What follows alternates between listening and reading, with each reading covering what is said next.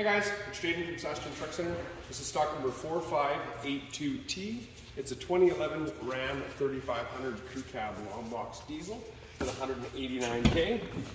This one is a one ton as well. It's a little bit heavier duty chassis versus a three quarter ton. There's a Laramie Longhorn as well, so it does have some really nice options. It does have this nice two-tone paint as well as unmatched running boards, chrome flip-up mirrors, some nice inlay in the upholstery as well. Some fancy little touches as well on the backs of the seats. This one is a full eight foot box as well and does come with the B&W hitch and that can be used as the fifth wheel like it's set up there or as a gooseneck as well.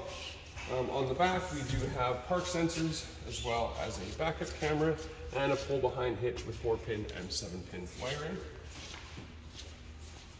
It does have brand new rubber all the way around as well. This truck also does come with rear heated seats as well, which is a nice touch. On the interior, do have power driver seat and power passenger seat, integrated trailer brake, power pedals, air tilt cruise, windows, locks, mirrors. There's heated seats, air conditioned seats, heated steering wheel, dual climate control, the nice screen as well as 4x4 on the fly. And there is also an exhaust brake as well as an auxiliary outlet. Uh, we're also just going to start the truck up here for you so you can hear it run for a sec.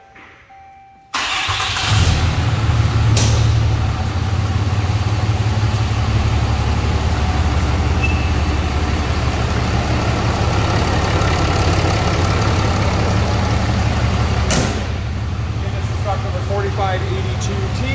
2011 Ram 3500 Crew Cab Long